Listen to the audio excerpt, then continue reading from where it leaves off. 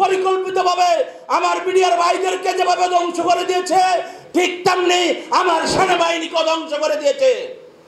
আজকে আমি বলতে চাই, আমার সেনাবাহিনী ঐক্যবদ্ধ হয়েছে, আমার বিডিআর ভাইয়ের ঐক্যবদ্ধ হয়েছে ইনশাল্লাহ এই বাংলাদেশে আর কোনো বছর সরকার আসতে পারবে না। শুধু তাই নয়, এই বাংলাদেশে কোনো চোর সরকার মানুষের টাকা যারা লুট করে নিয়েছে, তারাও এই দেশে আর বেশি দিন ক্ষমতায় থাকতে পারবে না। আমি আর একটা কথা আপনাদেরকে বলি, আপনারা খুব মনোযোগ দিয়ে লক্ষ্য রাখবেন, এই রাজনীতিবিদদের ইজ্জত হরণ করেছে কারা? এই আওয়ামী লীগ রাজনীতিবিদদের ইজ্জত হরণ করেছে উনিশশো চুয়াত্তরে যখন সারা বাংলাদেশে আপনার দুর্ভিক্ষ দেখা দিয়েছিল। তখন তারা এই দুর্ভিক্ষকে মোকাবিলা করার জন্য তারা বাকশাল তৈরি করেছিল। কিন্তু সেই বাকশাল আপনার এই বাংলাদেশের জনগণ সেটা হতে দেয় নাই। আপনারা লক্ষ্য রাখবেন, এই বাকশাল আবার দুই হাজার তেইশ সালেও বানানোর ষড়যন্ত্র হয়েছে। এই গত দশটি বছর, পনেরোটি বছর যেইভাবে ক্ষমতা আছে, যারা আমাদের মেরুদণ্ড ভেঙে দিতে চেয়েছিল, আজকে আমাদের মেরুদণ্ড সোজা হয়ে মজবুত হয়ে দাঁড়িয়েছে।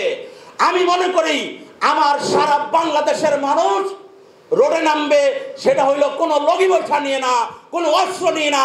সাধারণ মানুষের, এই বাংলার মানুষের হাতেই যথেষ্ট ইনশাল্লাহ আমরা যখন অস্ত্র লাগে নাই, উনিশশো একাত্তর সালে বাংলাদেশ স্বাধীন করতে, ঠিক তদ্রুপ মেজর জিয়া রহমানের ঘোষণাতে সারা বাংলাদেশের সাড়ে সাত কোটি মানুষ যেভাবে ঝাঁপিয়ে পড়েছিল পাকিস্তানি হানাদার বাহিনীর বিরুদ্ধে, ঠিক সেইভাবে বাংলাদেশের জনগণ দুই হাজার তেইশ সালে এই অবৈধ অস্ত্রবাজ এবং ছাত্রলীগ নামের সন্ত্রাসী বাহিনী, যুবলীগ নামের সন্ত্রাসী বাহিনী, এদেরকে প্রতিহত করার জন্য এই ষোলো কোটি মানুষের যথেষ্ট।